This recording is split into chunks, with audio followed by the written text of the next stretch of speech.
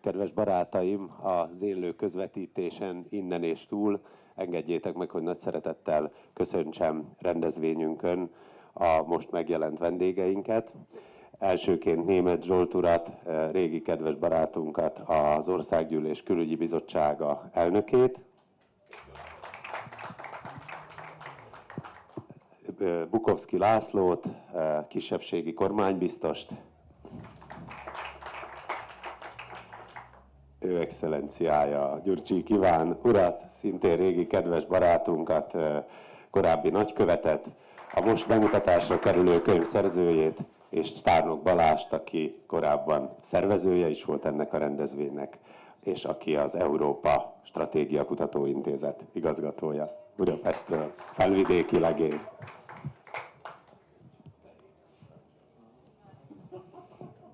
Tisztelt Hölgyeim és Uraim! Kedves ős, köszönöm a bemutatást. Megspóroltad azt, amit szerettem volna elmondani, és örülök annak, hogy most itt lehetünk. Számomra felemelő és megtisztelő érzés, hogy a Tóth Károly sátorban találkozunk. Tóth Károly osztálytár, diáktársam és jó barátom volt. 1989-et együtt és nagyon sokakkal együtt vártuk, és abban az időszakban aktívan dolgoztunk együtt, majd azt követően sok mindent másként láttunk, de minden egyes alkalommal tiszteletben tartottuk azt, hogy a közösségért ugyan más-más módon lehet, hogy eltérő utakon, de azonos célokért tevékenykedünk. Úgy gondolom azt, hogy most ebben a sátorban találkozhatunk, és Gyönyör József emlékötetet be tudjuk mutatni, némileg a Tóth Károlyjal folytatott beszélgetések hangulatát és jellegét is megidézi, őszintén és gondolatébresztően beszélgettünk mindig. Engedjék meg, hogy szót ejtsek a kötetről. Miért született ez a kötet? Mi volt a célja? Mi, volt a, mi, mi inspirálta a kötetet? Ki Gyönyör József? Gyönyör József néhány hónappal a trianoni békeszerződés aláírása után született, alig 10 kilométerre az Ipolytól, tehát az akkor meghúzott határtól északra, Ipolyság mellett, és mint ilyen egy ipolymenti vidéki település, egy kisfalu életét élte.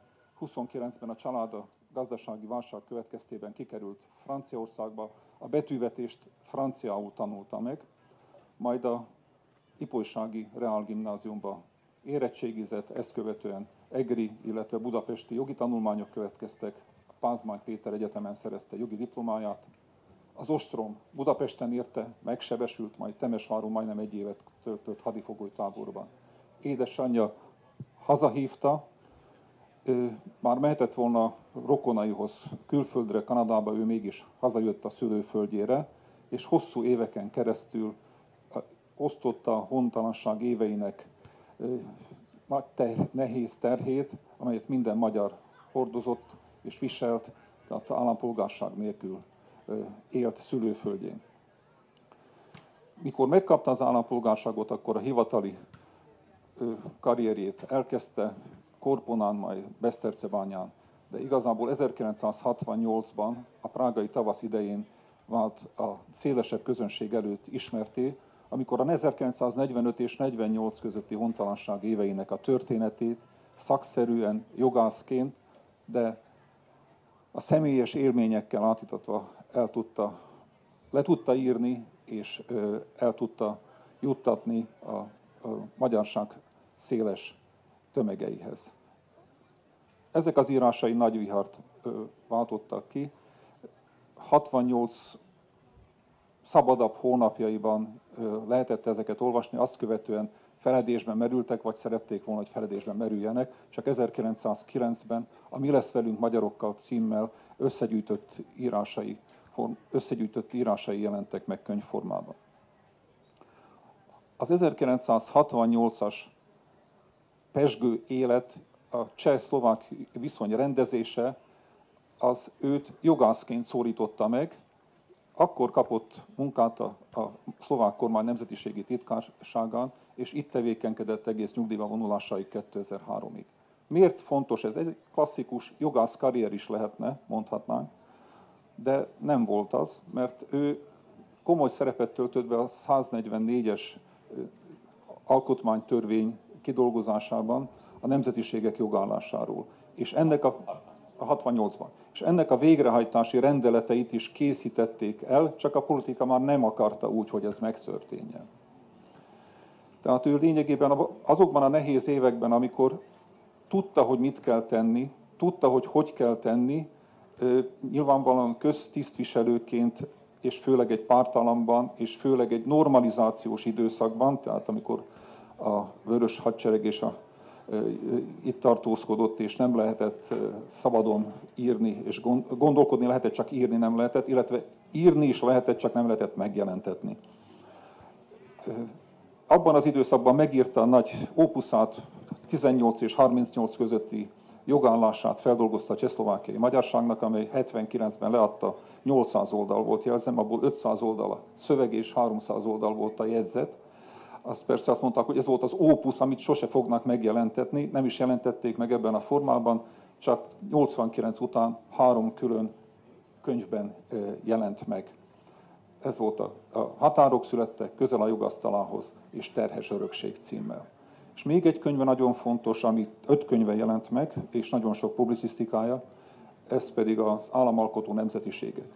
1989 októberében, tehát egy hónappal, másfél hónappal a, a, a demokratikus változások előtt, azért volt fontos ez a kötet, mert a nemzetiségi jogállásról szóló alkotmánytörvényt részletesen értelmezte, egyúttal részletesen közzétette a demográfia adatokat, tehát az 1980-as népszámlálás eredményeit.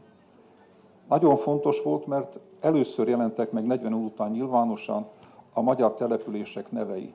Tehát az a több mint 600 település neve, amelyekben magyarok élnek Szlovákiában.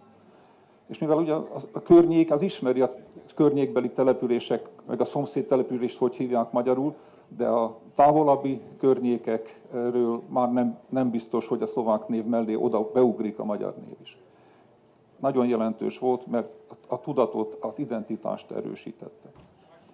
Ezek voltak az ő könyvei, és ezek voltak az ő írásai, és 90-ben, 90 után is nagyon aktívan szerepet vállalt abban, hogy például a nyelvtörvényel kapcsolatos kérdéseket megpróbálta nagyon kritikusan, nagyon alaposan az akkori alkotmányjogi helyzet alapján értékelni, és amit, amit, tehát, ami nagyon fontos volt az ő szemszögéből, és számomra is rendkívül fontos volt, hogy ő mérce maradt. Mérce maradt és mérce volt a szakszerűségnek, az egyenességnek és a tisztességes alapos munkának.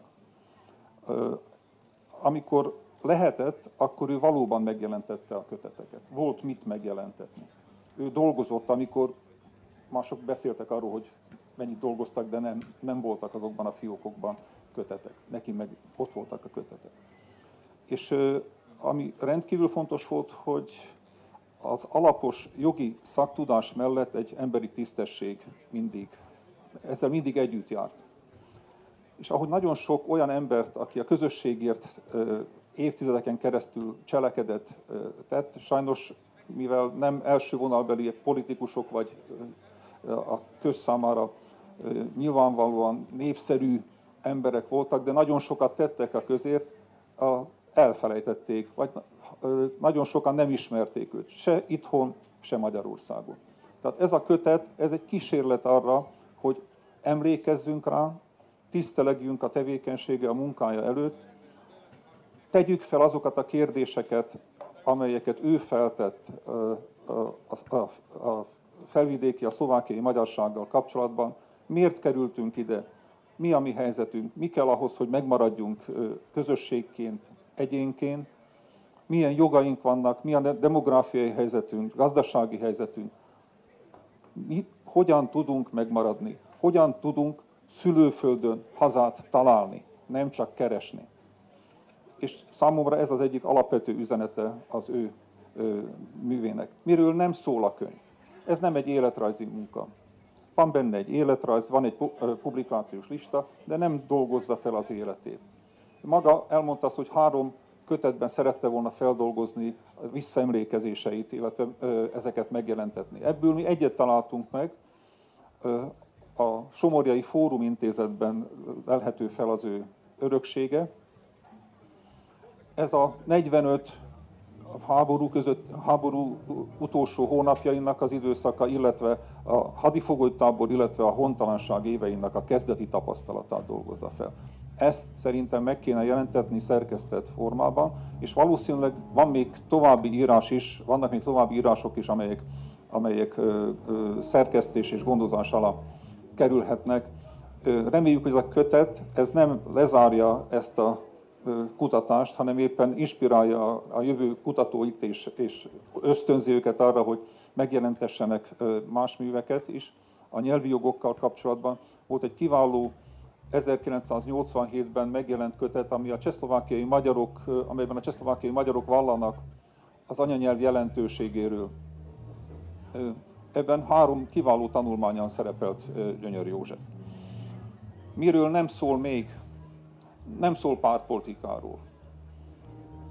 Mert ő a közösség szempontjából tette fel a kérdéseket, mi kell ahhoz, hogy megmaradjunk, mi kell ahhoz, hogy tovább éljünk. Mit kell a múltunkból rendezni, mit kell a múltunkból tisztázni, ami a mai napig terhel. A kollektív bűnösség miért nyomaszt bennünket, miért van állandóan jelen mit kell tennünk a jogaink védelméért, hogy kell felszólalnunk ennek érdekében. És a kötet maga ugye három részből áll. Egyrészt a történelmi kontextust a történelmi kontextus dolgozza fel, másrészt azokat a fiatal szakértőket kérdezi, kérdeztük meg, kértem meg, hogy írjanak, akik ugyanazokkal a kérdésekkel foglalkoztak, amelyekkel Gyönyör József foglalkozott. Tehát mondanám, hogy ahol ő befejezte, folytassák és nézzék meg, hogy mi történt máig. Az alkotmányok területén, a nyelvi jogok, oktatási jogok területén, mi történt a demográfiával, például a vegyes házasságok helyzetével, mi történt, hogy néznek ki azok a jogi keretek, amelyek szükségesek annak érdekében, hogy a jövőben is megmaradjunk és tovább éljünk. Itt, ezen a földön. És uh, itt meg kell köszönjem egyrészt uh, a mellettem ülő német Zsoltnak, aki a Prominoritáta elnökeként alapvetően hozzájárult ahhoz, hogy ebből a, könyv, ebből a, ebből a kutatómunkából könyv legyen, és Méri Gábornak, a Méri Ráció vezetőjének, tulajdonossának, aki egy igen igényes kötetben ezt kivitelezte, meg kell köszönnöm Kocsis Károlynak és munkatársainak azokat a nagy minőségű térképeket, amelyek a kötetben találhatóak, és a fórum, Somorjai Fórum Kisebbségkutató Intézetnek, azon belül pedig különösképpen Vég Lászlónak, aki Gyönyör József munkatársa volt, hogy segített abban, hogy tanácsaival, a, a rendelkezésre bocsátott dokumentumokkal segített abban, hogy melyek azok az irányok, amelyekre fókuszálnunk kell hogy kell, mire kell odafigyelni. Ha megengedik, akkor én röviden elolvasom, felolvasom, hogy kik voltak a szerzői, mert megérdemlik. Bukowski László, Fila Bútora János, Gál Veronika, Gyurgyik László, Halász Iván, Horony Ákos, Kocsis Károly, Kovács Anikó, Lelkes Gábor, Poppé Árpád, Szarka László, Tárnok Balázs, Vég László és Szalainé Sándor Erzsébet. Nekik nagyon köszönöm, hogy vették a fáradtságot és kiváló munkájukkal tették értékessé ezt a kötetet. És ha megengedik, akkor a következőben a két szerzővel kezdenénk a beszélgetést, persze amennyire a zene engedi, de igyekszünk hangosan beszélni. Úgyhogy a Elsőként Bukowski László szeretném megszólítani és kérni, hogy arról a témáról fejtse ki a véleményét, amiről a kötetben írt elsősorban, tehát arról, hogy a közigazgatás milyen szerepet tölt be a nemzeti kisebbségek jogainak érvényesítésében, ugye a szlovák terminológia szerint nemzetiségi kisebbségek jogainak érvényesítésében, és hol, hol látja a, a elmúlt 30 évben azokat a lépéseket, amelyek eredményként könyvelhetők el, tehát hol vagyunk jobb helyzetben, mint voltunk 1990-ben. Hol vagyunk nagyjából, hol stagnál az állapot, és hát hol van még teendő, mik a kihívások. Laci, parancsolj!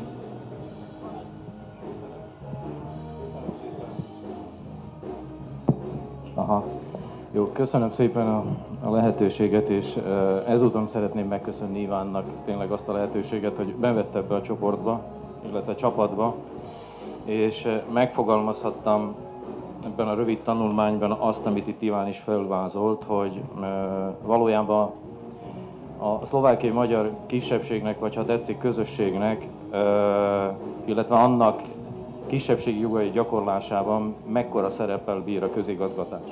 Tudom, ez egy nagyon profán kérdés, és, és mindenki, aki azt hallja, hogy közigazgatás, akkor a, a bürokrácia, a, a, a mindenféle emberkínzások jutnak az eszébe, hogy ö, irodáról irodára küldik az embert, és, és ö, értelmetlenül áll néhány kérdés felett. De úgy gondolom, hogy az, aki picit jártas a jogban, illetve a kisebbségi jogban, annak, annak mindenképpen eszébe jut az, hogy a közigazgatásnak óriási szerepe van, egy, akár egy állam, akár egy közösség, akár legyen egy kis közösség, de egy kisebbség életének, illetve mm, jogainak érvényre juttatásában.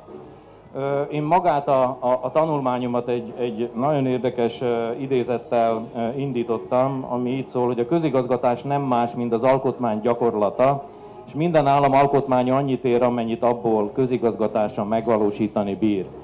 Én úgy gondolom, hogy ez nem csak a kisebbségokra érvényes, de általában azokra az alkotmányos jogokra is, amit széles körbe ismerünk de számunkra, szlovákiai magyarokra, felvidéki magyarokra úgy gondolom, hogy még nagyobb hangsúlyjal jelenik meg a kisebbségok érvényesítése, már abból kifolyólag is, hogy Szlovákia egy nagyon specifikus helyzetben van itt ebben a közép-európai térségben, hiszen az elmúlt több mint egy évszázadban tulajdonképpen ez az ország, legyen az az első Csehszlovák köztársaság, majd 45 után az új alakult Csehszlovákia, illetve hát a rendszerváltás után létrejött demokratikus Csehszlovákia, majd az önálló szlovák köztársaság is, nagyon visszafogottan kezelte a kisebbségi jogok érvényesítését, és hát ennek a, a keretnek a hatására, illetve ezen a kereten belül kellett magának a közigazgatásnak is azokat a jogokat érvényre juttatni, amit az alkotmány garantált, hiszen Szlovákiában, illetve ahogy mondtam, az előző államformákban se jött létre, illetve nem volt, nem létezett egy átfogó kisebbségi törvény. Voltak bizonyos törvényes rendelkezések, elsősorban a, a nyelvi jog érvényesítéséről, ami, ami, ami most is egyedülálló Szlovákiában, hiszen, hiszen ahogy Iván is rákérdezett, tehát az, az elmúlt 30 évben tulajdonképpen a szlovák jogrendben tehát a hatályos szlovák jogrendben egyedül a kisebbségi nyelvhasználatot szabályozza törvény, a többi egyéb ö, alkotmányos jogra kapcsolódik néhány törvény érintőlegesen, de általában a szlovák politikai közéletben ö, van egy ilyen általános tézis, hogy ö, kvázi nincs itt szükség ö, különleges jogállása, illetve különleges törvények megfogalmazására, hiszen ez egy alkotmányos jog, amit a szlovák alkotmány garantál, és erre épülve kell majd a, a, a közigazgatásnak is kivenni a részét. Részben részbe nagyon sok alkotmányjogász értelmezése szerint ez egy, ez egy megfelelő értelmezése, a, a, akár a kisebbségok érvényesítésének is, de én úgy gondolom, hogy hogy számunkra ez nem elfogadható magyarázat, illetve tézis. De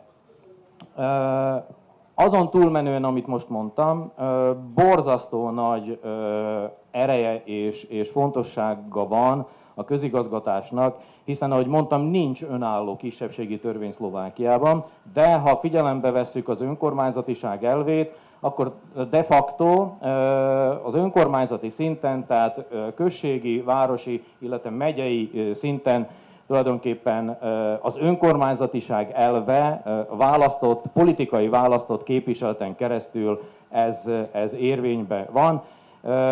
Ilyen szempontból tulajdonképpen óriási feladata van, és, és felelőssége van a szlovákiai magyar politikai képviseletnek is. Hiszen, ahogy utaltam rá, nem létezik valami különleges jogi státusz a kisebbségi jog érvénye juttatásában, csak is ilyen módon a, az említett önkormányzatokon belül, ami tulajdonképpen a közigazgatásnak a, a része. Tehát erről úgy gondolom, hogy viszonylag keveset beszélünk szlovákiai magyar vonatkozásban is, és, és hát nem azt mondom, hogy hiányzik a mérlegvonás, de, de, de mm, bizonyos értelemben hiányzik az önreflexió. És megmondom miért. Azért, hiszen ha figyelembe veszük azokat az alkotmányos jogokat, amiket a szlovák alkotmány garantál, és hát az előző alkotmányok is, illetve törvényes rendelkezések bizonyos szinten kitértek erre. Tehát négy alaptípusát különböztetjük meg a kisebbségi jogoknak, tehát a, közig, a, a, a közügyekben való részvétel biztosítása, a nyelvhasználati jog, az oktatási jog és a kisebbségi kultúra támogatásának vagy megőrzésének a joga.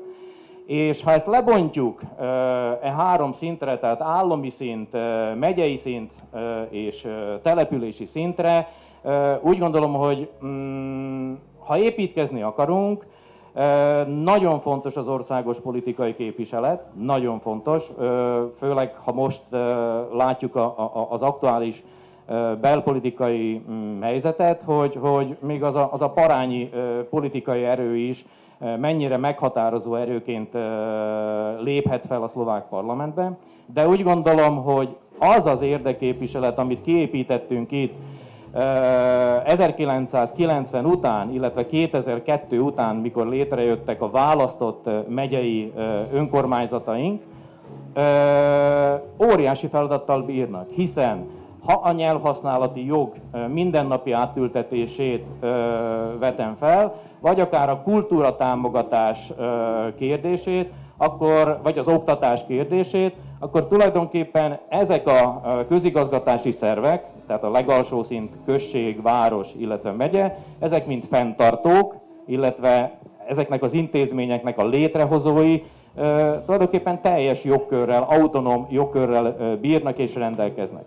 Persze ehhez kell egy, egy olyan öntudatos közösség is, amely mondjuk itt-ott azért számon kéri választott képviselőimtől azt, hogy milyen irányba mm, megy a szekér. Idefele jövet például, tehát most a szlovákiai magyar közbeszédben nagyon rezonál a, a, a legutolsó népszámlálás eredménye, és hát nagyon sokan keressük a választ arra, hogy mi lehet az a, az a, az a, az a, az a lépés, ami mondjuk ezt a fogyást nem is azt mondom, hogy meggátolja, de lassítja. És én ebben a tanulmányomban, mondom, kitértem a nyelvhasználat, a, a, a kisebbségi kultúra, illetve az inté, tehát a közoktatás területére is, és tényleg megfeledkeztem arról, hogy van benne egy, egy, egy nagyon sokat mondó táblázat, ami azt mondja, hogy 2012-ben az állami kisebbségi kulturális támogatás összege az globális értelemben az 4,5 millió euró volt. Ebből a, a szlovákiai magyar kisebbség két és, durván két és fél millió eurót kapott. Most ott vagyunk 2021-ben, tulajdonképpen a szlovákiai magyar kisebbség 4,5 millió euróval gazdálkodik, és eljutottunk ahhoz a, az, ahhoz a ponthoz is, hogy tényleg próbáljuk valahogy megfogalmazni azt, hogy, hogy mik azok a hatások, amik mondjuk akár a közigazgatás területén is, vagy akár egyéb területen belül is ezt a fogyást, ezt a lemorzsolódást képes, képes lassítani, illetve meggátolni.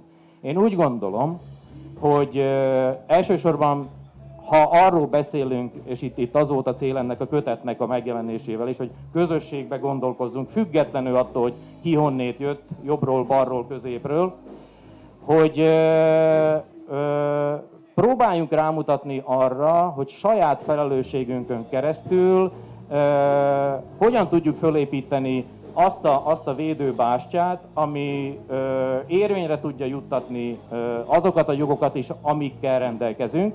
Arról nem is beszélve, hogy ö, természetesen ö, sok esetben ezek a, ezek a meglévő jogok ö, nem elegendőek, de arra építkezve próbáljuk megfogalmazni, hogy hol vagyunk, mit értünk el ez alatt a 10-20 év alatt, és hát a kérdés is az volt, és, és mik a célok? Mik a célok? És erre építve rá mondjuk akár azt, hogy ö, most szükségünk-e van nekünk egy átfogó kisebbségi törvényre, vagy sem.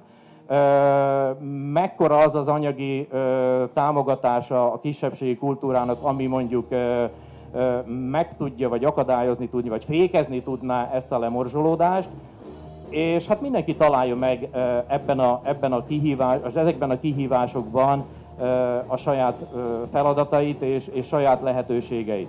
És én úgy gondolom, hogy most nagyon nagyképűen fog hangzani, amit mondtam, vagyis amit szeretnék mondani, de ö, sokszor sok emberre beszéltünk Gyönyör Józseffel, és Köteles Lacinak volt múltkor egy nagyon érdekes felvetés, amire én is teljesen azonosulni tudtam, hogy a 80-as, 90-es, 80-as évek végén és a 90-es évek elején mi azt hittük, hogy ez a Gyonyor József, ez egy kitalált figura, mert annyira bátran fogalmazta meg a szlovákiai magyarság helyzetét, akár történelmi szempontból, akár mindennapi élete szempontjából.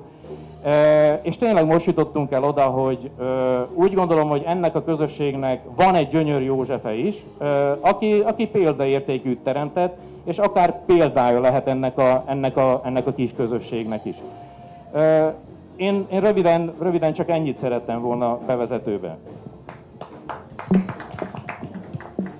Nagyon szépen köszönöm, Laci, és a kérdéseket, azokat kérem gyűjtsék, és én is próbálom gyűjteni, mert gondolatébresztő volt a felvetés, és nagyon köszönöm.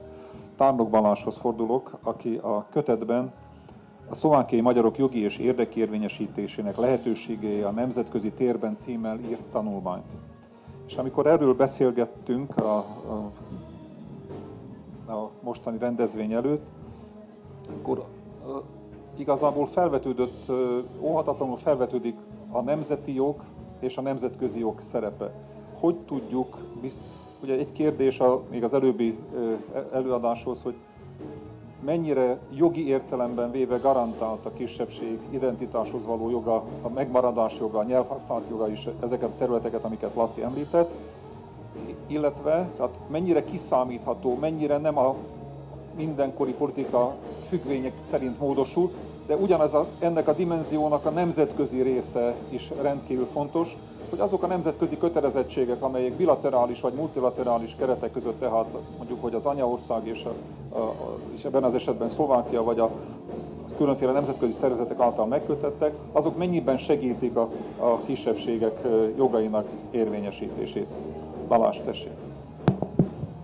Köszönöm szépen, és én is köszöntök mindenkit. A, ugye a nemzetközi tér kapcsán legelső kérdés, amire, amire válaszolnunk kell, hogy ugye miért fontos egyáltalán a nemzetközi tér, különösen a nemzeti kisebbségek jogai kapcsán, amikor nagyon sokszor elhangzik, hogy ez, ez a nemzeti eh, hatáskör, pláne, hogyha az Európai Uniós relációban beszélünk erről, és ugye az, hogy ehhez egy kicsit vissza kell mennünk az időbe, mert hogy a, a modern kori kisebbség védelem az valójában, legalábbis Kovács Péter megfogalmazása szerint az 1918-20-as évektől indult el európai viszonylatban, ugyanis akkor jelent meg ez a kérdés olyan mértékben az első világháborút lezáró békék következményeként, hogy, hogy ezzel kellett foglalkozni, mert ugye előállt az a reális helyzet, hogy a területi államok a nemzeti kisebbségekre nem értékként tekintettek, hanem biztonsági tényezőként elkezdtek a nemzeti kisebbségekkel szemben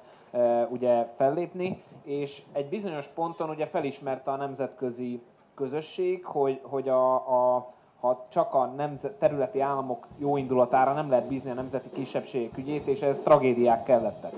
Ugye először volt a más, első világháború után a Nemzetek Szövetsége, ami aztán gyorsan megbukott, és ezen gyors és bukás és a második világháború kitörésének igazolási indokai miatt is részben a nemzeti kisebbségek védelmének nemzetközi szintű védelme lekerült ugye a napirendről, és csak a balkáni háborúk ébresztették rá a, az államokat, hogy, hogy ezzel valamit kezdeni kell.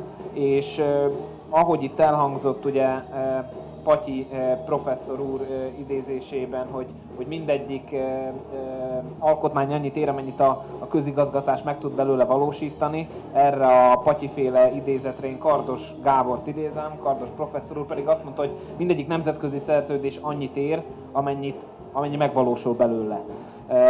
Ugyanis a, a nemzetközi térben sokszor az a helyzet, hogy, hogy van megfelelő tartalom, de a gyakorlatban nem e, tud ez érvényesülni. Ugye, hogyha a nemzetközi térről beszélünk, akkor Európában e, főként a, a tehát a nemzetközi jogra és az Európai Uniós jogra összpontosítunk. A különbség legfőképpen ugye abban áll, hogy a nemzetközi jogban megvan egy megfelelő tartalom, de az érvényesíthetősége gyenge. Az Európai Unió esetében az érvényesíthetőségi potenciál erős, de ott pedig nincs tartalom.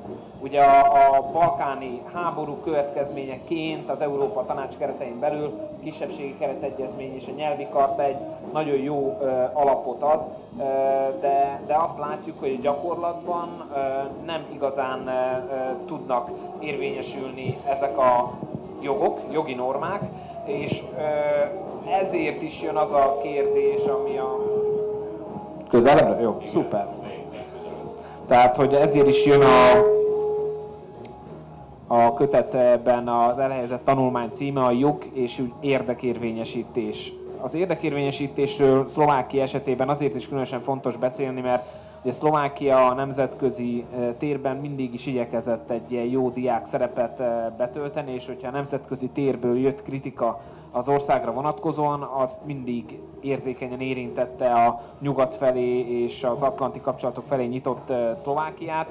Mert ugye, hogyha jogokról beszélünk, a jog, ami a nemzeti kisebbség oldalán jelenik meg, azzal szemben van egy kötelezettség jellemzően a kisebbségi jogok relációjában, ami az állam oldalán érvényesül, és hogyha az állam nem teljesíti ezeket a nemzetközi jogi kötelezettségeket, akkor ideális esetben ugye van egy olyan mechanizmus, ami életbe lép. Ugye ezt a nemzetközi szerződéseknél látjuk, hogy ha van is mechanizmus, a gyakorlatban nem igazán tud érvényesülni, de hogyha érvényesülhetne is, nagyon sokszor az a helyzet adódik, hogy erről a nemzetközi szervezet nem szerez tudomást. Ezért nagyon fontos a, a, a jogi és politikai érdekérvényesítés, amit politikai pártok és civil szervezetek is ugye elvégezhetnek, és ez ugye arról szól, hogy a nemzetközi szervezeteknek folyamatosan beszámolni arról, hogy miként teljesíti, vagy miként nem teljesíti eh, jelen esetben Szlovákia nemzetközi eh, kötelezettségeit. És ez a munka nagyon eh, fontos a nemzetközi szervezetek szinterén, és gyakorlatilag a, ebben a tanulmányban leírtam, hogy mik azok a nemzetközi szinterek, a nemzetközi intézmények, ahol érdemes nekünk valamit kezdeni, ahol nekünk van fórumunk, az ENSZ, az e- Európa Tanács, vagy akár az EBESZ vonatkozásában, hogy leginkább hazai viszonylatban az Európa Tanácssal találkozunk többször, a kisebbségi keretegyezmény, vagy a nyelvi kartáról, de akár a Velencei Bizottságról is ugye többször hallunk.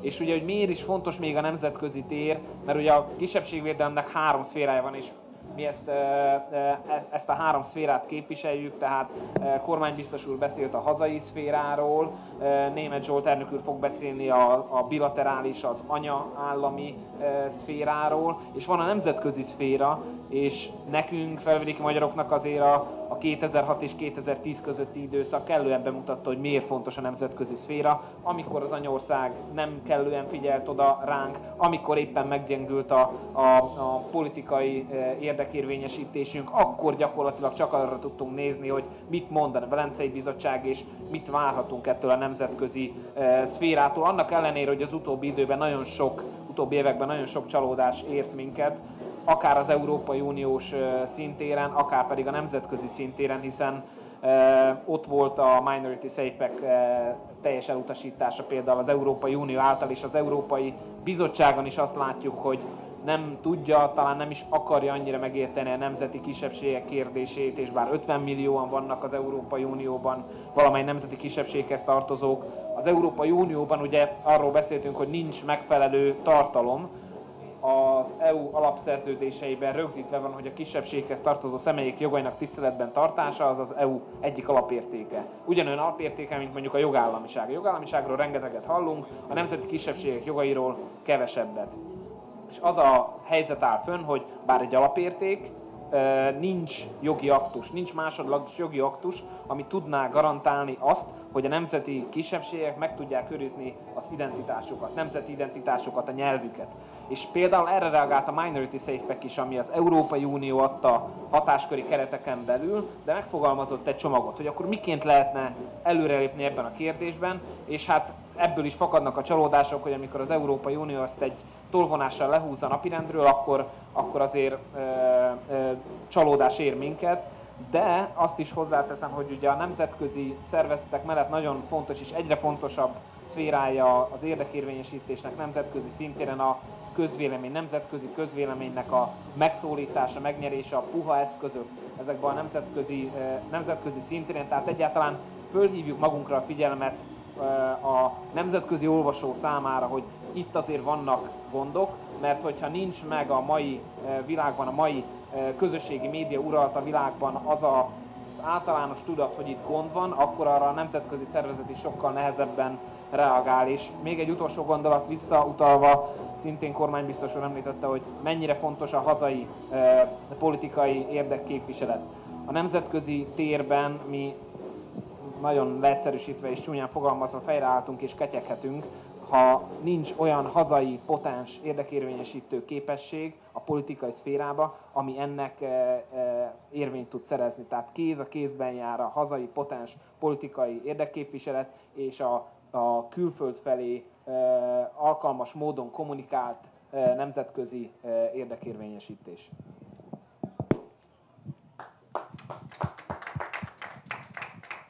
Nagyon köszönöm. Ezek a magvas, megfontolandó gondolatok két szempontot juttattak eszembe a parlamenti képviselet jelentőségével kapcsolatban és a demográfiai súly változásával kapcsolatban.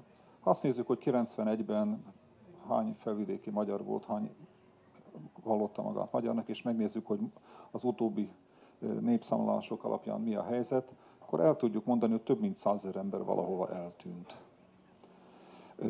Illetve, ha megnézzük az arányokat, mert ugye ez lehetne úgy is, hogy a lakosság csökken, mert valaki elmegy, külföldre utazik, stb. De itt az arányok csökkentek jelentős mértékben. Ennek az okait meg kell vizsgálni. Ezt teszik azok, akik ehhez szakmai szempontból értenek és ezzel foglalkoznak de ez egy jelzés kifelé is, a nemzetközi szintér felé is, elsősorban befelé, mennyien vagyunk, mi az erőnk. És a parlamenti képviselet is ehhez szorosan kapcsolódik. Képesek, képesek vagyunk-e úgy összefogni, hogy az a 8,5% az még mindig a legnagyobb arányjal rendelkező határon túli magyar közösség, ha összefogna, meg tudná ugrani ezt a, át tudná ugrani ezt a részet. Tehát a nemzetközi képviselet és a nemzetközi érdek, jog és érdekérvényesítés és a hazai érdekképviselet és jog és érdekérvényesítés, hogyha csak ezt a két szempontot emelem ki, nagyon sok egyebet is kellett emelni, akkor ez, ez, ez óhatatlanul előtérbe kell, hogy jöjjön. Csak ennyit ehhez. És engedjék meg, hogy a német Zsoltot felvezetve, és felkérve őt arra, hogy mondja el gondolatai egyrészt a könyv kapcsán, másrészt pedig olyan politikusként, aki több mint 30 éve folyamatosan a legfelsőbb szinten, a, politika szinterén, tehát több mint 90 óta parlamenti képviselő Zsolt. Az ő személye egyértelműen, hogy összekötődik a hatalom túli magyar ügy képviseletével a parlamentben nem véletlenül a Promiroditatének az elnöke és szimbóluma is egyben. Tehát azelőtt, mielőtt több ilyen mondanék, akkor szeretném itt a, a tematikus elemekre koncentrálni.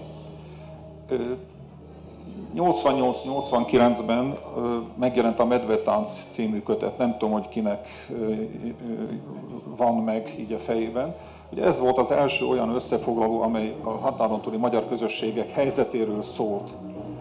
Nagyjából körülbelül ugyanabban az időszakban, azt már lehet, hogy kevesebben ismerik, megjelent Borsodi István által szerkesztett The Hungarians a Divided Nation. Ez a Yale University Press adta ki amely szintén ugyanezt a kérdést járta körül külföldről. És itt felvetődik az emberben az a gondolat, hogy 30 éve mit reméltünk, és hova jutottunk 30 évvel később. És mivel most a gombaszög két év kihagyás után lényegében, majdnem azt mondanám, hogy még mindig lehetőséget ad arra, hogy a, a visszaemlékezéseket és a 30 éves éveket végig gondoljuk, akkor Zsolt azért is fordulnék ilyen általános kérdéssel hozzád, mert te ráláttad, átláttad az egészet, végig ott voltál az összes ilyen folyamatnál, a két oldalú kapcsolatokban, nemzetközi szintéren, most az Európa Tanács parlamenti közgyűlésének alelnökeként egy teljesen más szintről látod ezeket a folyamatokat. Hogy látod, mi a helyzet a könyv apropóján, hol vagyunk, hová kéne mennünk, mi a te helyzet értékelésed. Köszönöm szépen.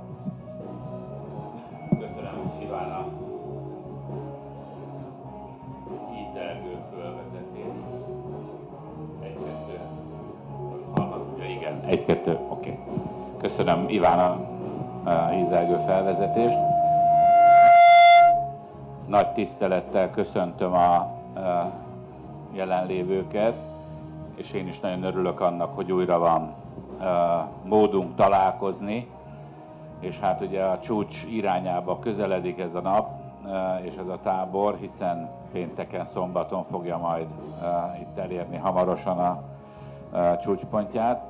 A Prominoritáte Alapítvány részéről is szeretném köszönteni a jelenlévőket. Ez az alapítvány, eh, amelynek az elnöke egyébként itt ül velünk, de nem én vagyok, eh, hanem eh, Tárnok Mária.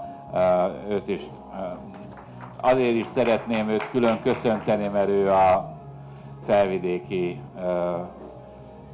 Magyarországra átigazolt tábornak egy jeles képviselője.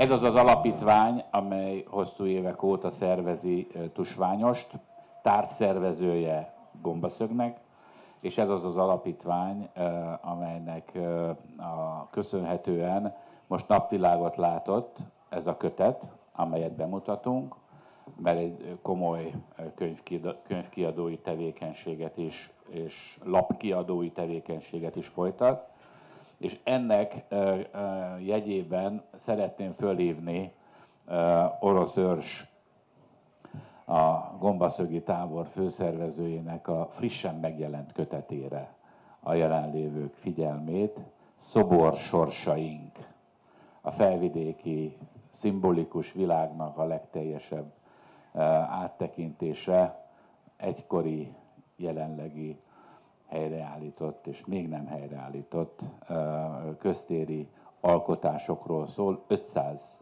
fényképpel. Körbe is adnék egy példányt, hogy aki akarja, vessen rá egy pillantást. Megvásárolható, mint ahogy egyébként a kötet, amiről beszélgetünk, az is megvásárolható. És szeretném még mielőtt válaszolok Ivánnak a felvetéseire, köszönteni Balogh Csaba nagykövet urat, régi új nagykövet urat, aki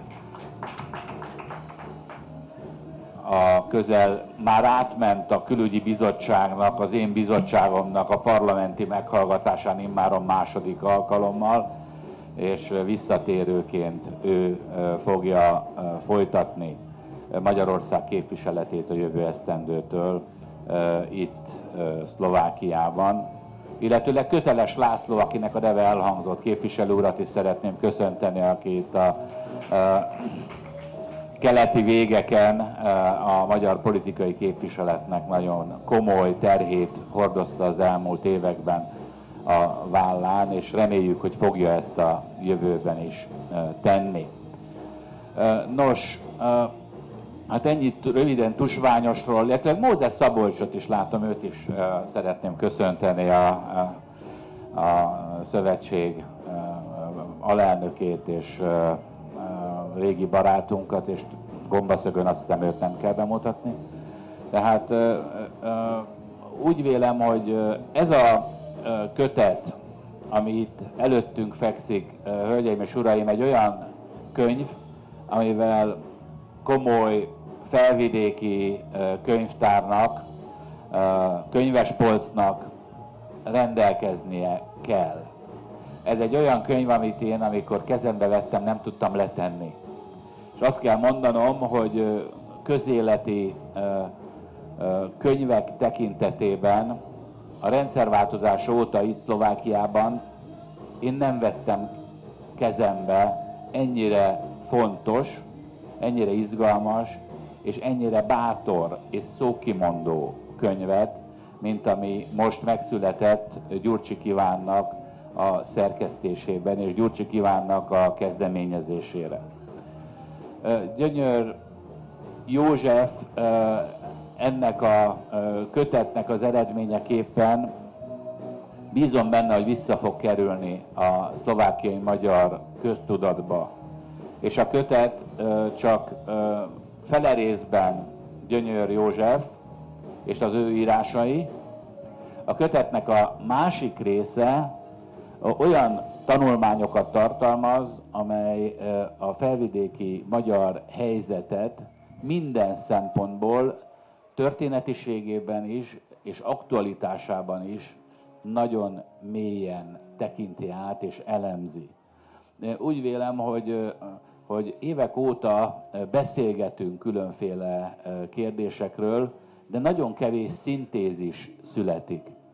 És ez a kötet ez ebben a tekintetben fontos, mert úgy tekint a szlovákiai magyarság egészére, hogy szinte nem marad ki meghatározóan fontos szakmai terület. Ez az áttekintés pedig érdekfeszítő és nagyon hangsúlyozom, szókimondó, bátor, méltó ebben az értelemben is Gyönyör Józsefhez, akiről én azt szeretném elmondani, hogy a 20. századi felvidéki magyar eszmetörténetnek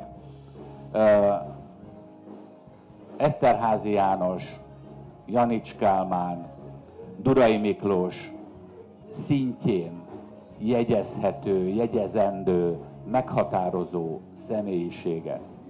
A felvidéki magyar közgondolkodásnak és politikai gondolkodásnak ismernie kell Gyönyör Józsefet, hiszen amiről ő gondolkodott és amiről ő kifejtette öt kötetben egyébként a gondolatait, azok nagyon élő kérdések.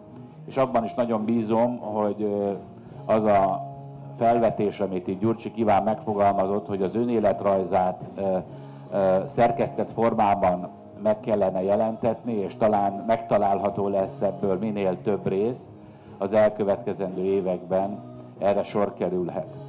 És most itt szeretném a prominoritáta részéről bejelenteni, hogy mi örömmel állnánk elébe annak, hogy egy ilyen kötetet tető alá hozzatok, csináljátok meg, készítsétek el a Fórum Kisebbségkutató Intézet, vagy bármilyen keretben, talán a kisebbségi kormánybiztosság majd megfinanszírozza, de mi is hajlandóak vagyunk a zsebünkbe nyúlni. Szóval ezt szerettem volna mindenek előtt elmondani, hogy ez a könyv jó, és mindenkinek ajánlom, és úgy vélem, hogy azon túl, hogy jó, meg, megkerülhetetlen ez a munka. Milyen szavak és milyen gondolatok jutnak eszembe azzal kapcsolatban, hogy Magyarország felelőssége és ennek a kötetnek a vonatkozásai? Az első mindenek előtt a Benesi dekrétumok és a hontalanság évei. E tekintetben ma, mind a mai napig bátorság kell, és bátorság szükségeltetik a Benesi dekrétumok és a hontalanság éveivel kapcsolatban kimondani azt, amit gondolunk, és megpróbálni odajutni, elérni azt a célt, ami kitűzhető, reális, politikailag megvalósítható, és ebbe az irányba Gyönyör Józsefnek nagyon méltó utódja ebben a kötetben, Fiala Butora Jánosnak a tanulmánya, amely nagyon méltóképpen reflektál arra, hogy mi az, ami ma jogfosztottságból megmaradt és hátrányos diszkriminációként sújtja a felvidéki magyarságot a benesi dekrétumoknak köszönhetően. Melyek azok az elemek, amelyeknek a megszüntetése az elkövetkezendő években nélkülözhetetlen előfeltétele az egyenjogúságnak, és hogyha egy kicsit tágabban akarok fogalmazni, a magyar-szlovák történelmi megbékélésnek mert azt hiszem, hogy ha az első feladatot kellene meghatároznom, hogy mi az, amit el kell végeznie az elkövetkezendő években a két országnak, akkor annak az a ö, ö, két szó a középpontja, hogy történelmi megbékélést végig kell a két ország között vinni.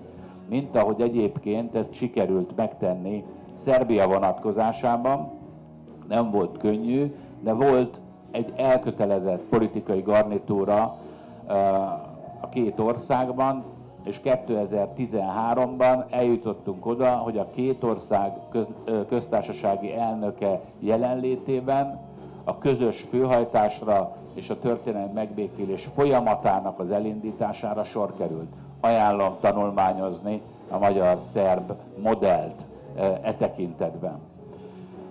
A második szó, ami ö, ö, eszembe jut, az szintén az emlékezett politikának a körébe tartozik. Az emlékezett politika egyébként ma egy meghatározó összetevője az európai politikának, a magyarnak is, a szlováknak is. Nagyon fontos összetevője 1968.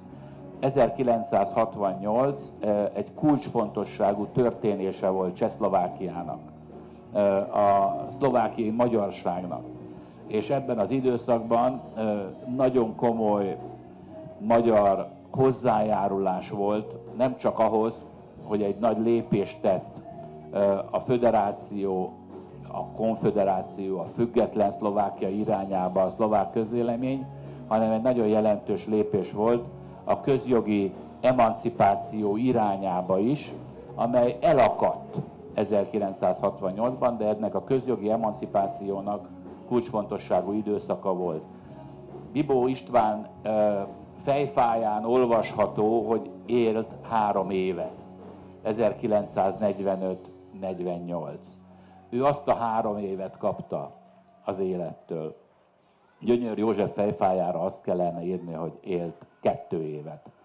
1968, 1969. Ennyi volt, ami a történelemtől neki adatott arra, hogy ő megmutassa, hogy milyen fából faragták. És akkor ő megmutatta.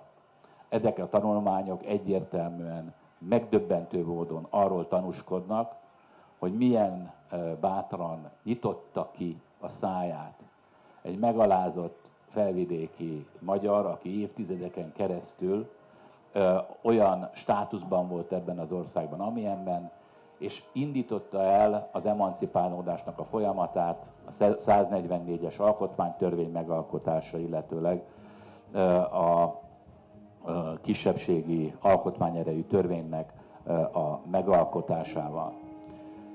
Fontosnak tartom természetesen azt, hogy 1968 és általában a kommunizmus elleni küzdelem az legyen része a mi közgondolkodásunknak.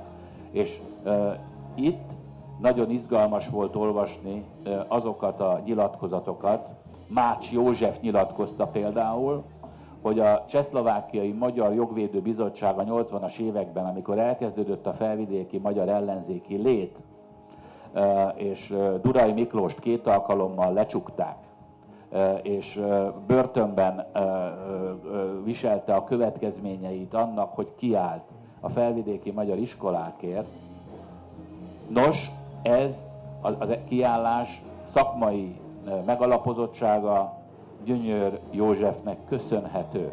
Még akkor is, hogyha ő mivel a kisebbségi kormányhivatalnak volt a munkatársa, nem exponálhatta magát ebben az ellenzéki tevékenységben, de az ő adatai és az ő szakmai háttere nélkül nem sikerült volna megmenteni a felvidéki magyar iskolákat.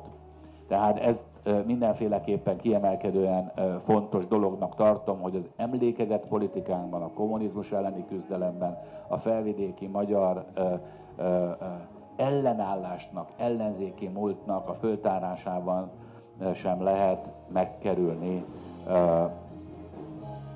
Gyönyör Józsefet. Fontosnak tartom hangsúlyozni, hogy a kötetben a diplomáciának a jelentősége, mint ahogy ezt az előbbiekben már vázolt a tárnok Balázs, akiről szintén megjegyezném, hogy a Prominoritáte Alapítvány Lőrinc Csaba díjával lett kitüntetve az idén, és gratulálok ehhez neked Balázs, és sok sikert a munkáthoz hiszen diplomácia javából, amit Balázs is véged, és amikor az utolsó gondolatok között azt hangsúlyozta, hogy a diplomácia az ma már egy nagyon szerteágazó fogalom, és nagyon nagy jelentősége van a soft diplomáciának. Nem csak államközi kapcsolatokról, nem csak multilaterális környezetről beszélünk, hanem a nemzetközi közvéleménynek a formálása is egy kulcsfontosságú feladat, és itt ki lehet alakítani, ki kell alakítani a különféle szereplők között, állami szereplők, felvidéki magyar politikai képviselet, tudományos élet, a megfelelő diplomáciai véleményformáló technikákat, csatornákat az érdekérvényesítés céljából.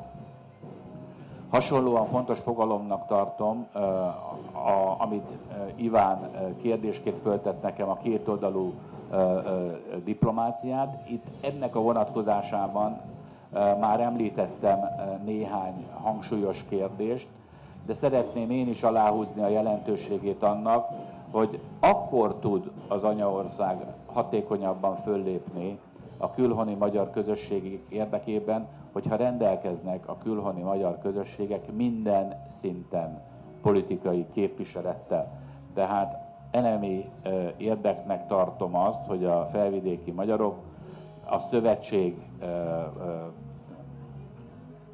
politikai sikere eredményeképpen a következő szlovák nemzeti tanácsban, a következő szlovák törvényhozásban a maga súlyán jelenjen meg, és ez nagyon komoly munkára van szükség az elkövetkezendő időszakban. Ez egy olyan háromszög, amelyben azt tapasztalom, gyakorlati tapasztalat, hogy a hatékonysága az anyaországi politikai támogatásnak meghatványozódik, hogyha van egy jól szervezett kisebbségi érdekképviselet. Ilyen az RMDS Romániában, négy miniszteri pozícióval, miniszterelnök helyettesi pozícióval rendelkezik, és arányait tekintve egyébként kétharmada a felvidéki magyaroknak, vagy talán most már a fele. Tehát azt tudom mondani, hogy a, a demográfiai, a szociológiai feltételei ennek adottak. És délvidéket is, Szerbiát is nyugodtan említhetném ebben a vonatkozásban, és amit Bukovski László említett, az átfogó kisebbségi törvénynek a megalkotása szintén elgondolhatatlan egy hatékony magyar érdekképviseletnek a megszületése nélkül. Szinte nem reális erről gondolkodni. Nyilvánvaló, hogy Romániában is vajódik az átfogó kisebbségi törvénynek a megalkotása, nem csak Szlovákiában, de meg fog születni. És jó lenne, hogyha akkor születne meg ez az átfogó kisebbségi törvény, amikor még van felvidéken magyarság. Nem azt követően. Az Elzászban megszületett a kisebbségi jogegyenlőség, csak már nem nagyon vannak német ajkú kisebbségiek Franciaországban és Elzászban. Erre mondja a magyar nyelv, hogy eső után köpönyeg, ezt kellene lehetőség szerint megelőzni. Mint ahogy az is nagyon fontos, hogy egy új helyzetben van a kétoldalú kapcsolatrendszer, rendkívül sok közös érdek köti össze Szlovákiát és Magyarországot, egy olyan szövetségépítésnek az időszakában vagyunk, amikor Közép-Európa fölértékelődik, és ez, illetőleg a, kisebbségi érdekképviselet szempontja, hogy azok nem mondanak egymásnak ellen. Ne próbáljuk szembeállítani a kettőt egymással, hanem lássuk azt, hogy ha van egy jó V4-es együttműködés, ha találkoznak a miniszterek, van egy szerteágazó összetett együttműködési rendszer, akkor hatékonyabban tudjuk a felvidéki magyar érdekeket is ennek keretei között megjeleníteni. Kulcsfontosságú az, hogy tekintettel arra, hogy van egy ilyen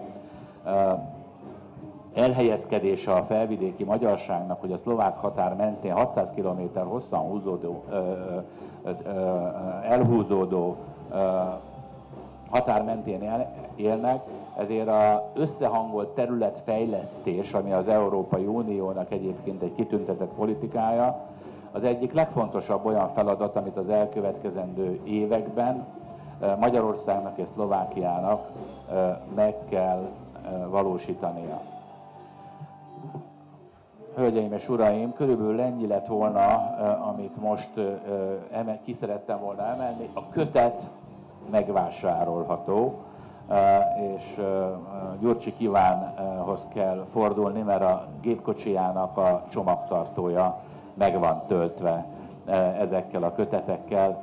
Mindenkinek ajánlom, népszerűsítsék és terjesszék és remélem, hogy ha véget ér gombaszög, akkor nagyon sokan fölkerekednek a jelenlévők közül, és folytatjuk tusványosan, mert 19-én Tusnádfürdőn Erdélyben folytatódik a Kárpát-medencei nyári szabadegyetem és fesztivál szezon, és ott jövő héten szombaton szólal föl a magyar miniszterelnök, a szlovák miniszterelnök pedig tudtommal itt fog felszólalni a holnapi napon, szintén szombaton. Nem véletlenek ezek. Köszönöm szépen a figyelmet.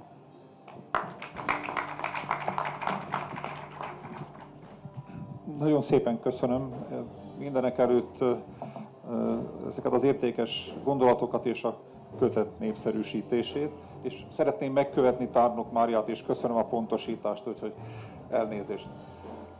Valóban a kötet a, gépkocsi van még található, de jelzem, itt is ős szerint megfelelő helyen, ahol a kötetek lenni szoktak, ott elérhető, illetve hogyha bárkinek ilyen jellegű felvetése van, akkor szívesen állok rendelkezésre.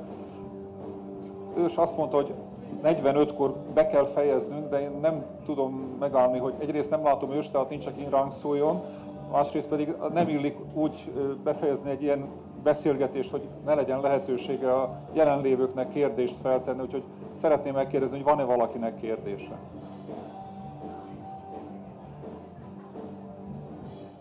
Én nem látok jelentkezni senkit, azt hogy kimerítő volt akkor a jelenlévők felszólalása. Nagyon köszönöm még egyszer, és akkor befejezésként engedjék meg, hogy itt a kötetből két sort, három sort idézzek. Ugye a kötetnek az alcíme lesz-e végre igazi hazánk, ez egy 68-as írásnak a címe is. Morzsák jutnak-e a jogasztaláról a szlovákiai magyaroknak, vagy előbb-utóbb végre megérhetik, hogy olyan szabad ország polgáraivá válnak, amely tiszteletben tartja nemzeti identitásukat, amely nem kollektív bűnösként, mielőbb asszimiláció kiszemelt emberi erőforrásaként tekinte közösségre, hanem olyan közösségként, amely mind a többségi, mind az anyanemzet elismert partnere. Köszönöm figyelmüket!